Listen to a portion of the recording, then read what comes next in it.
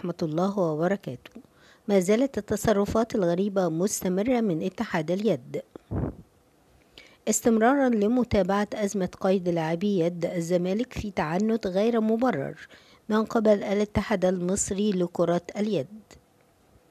وحتى الساعة الثانية عشر ظهرا بتوقيت القاهرة كان اتحاد كرة اليد يرفض استلام شيك هاني العتال مرشح الزمالك بقيمة 2 مليون جنيه. وبرر الاتحاد المصري هذا الطلب بضرورة وجود خطاب رسمي من نادي الزمالك. مع الشيك يفيد بأن هذا الشيك يخص نادي الزمالك. وبالفعل تم التواصل وتم تجهيز هذا الخطاب من قبل اللجنة الثلاثية التي تدير النادي وتم تسليمه إلى الاتحاد المصري لكرة اليد ليتم سدادهم ضمن مديونية النادي. وعلى هذا وافق اتحاد اليد على قيد خمس لاعبين في قائمة الفريق وهم أحمد الأحمر ومحمد البسيوني مودي وأحمد حسام ومؤمن زكي وأحمد سامح. هؤلاء الخمس لاعبين في مقابل الأربعة مليون جنيه الذي تم سدادهم من المديونية 2 مليون من نادي الزمالك و2 مليون من هاني العتال. وهنقول إيه بس للاخ حسن مصطفى؟ اللي اختشوا ماتوا يا أخ حسن مصطفى.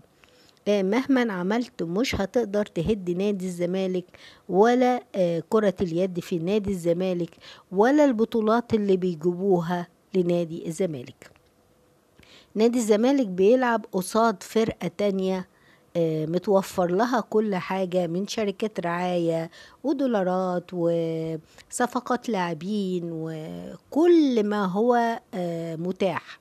حتى يوم عملوا التدريبات بتاعتهم عملوها بره مصر. يعني ناس مرفهة فوق العادة. يعني لما تجيب واحد كده وتربط له ايديه ورجليه وترميه في البحر وتقول له أنا عايزك تعدي. وتجيب واحد مديله كل الإمكانيات اللي يعرف يوصل بيها في أقل من ثانية. ومع ذلك اللي متربط ده بيجدف وبيفوق على التاني. ده وإن دل وإن دل على إن نادي الزمالك نادي أصيل. نادي لعبته رجالة. وللأسف مفيش حد باصص لنادي الزمالك ولا لمصلحة نادي الزمالك ولا بيحاول يحل مشاكل نادي الزمالك. حتى الدولة مغمية عينيها وسد ودانها عن اللي بيحصل لنادي الزمالك. كل ده علشان السيناوي اللي بيدخل للبلد الدولارات. ما هو مش كده برضه. يعني عيب اللي بيحصل ده.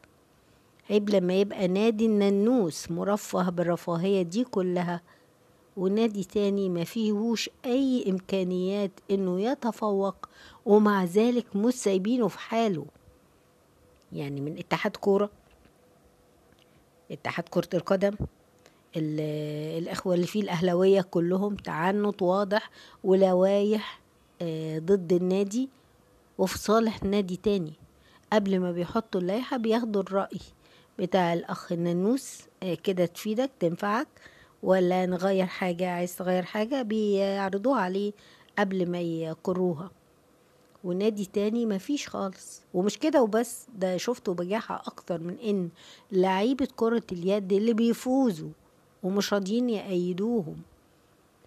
لا مش عايزين يلعبوا باللعيبة دول. لا إزاي تلعبوا باللعيبة دول؟ إحنا اللي هنختار لكم لعيبة تلعبوا بيها. شفتوا أكتر من كده بجاحة؟ ده أنت بجاحتك فائت الوصف يا حسن مصطفى. حسبنا الله ونعم الوكيل فيك.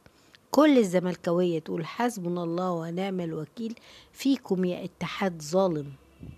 حسبنا الله ونعم الوكيل فيكم يا منظومة فاسدة. إن شاء الله إن شاء الله هتتفتحوا على الملأ أكتر ما أنتم مفضوحين في العالم كله.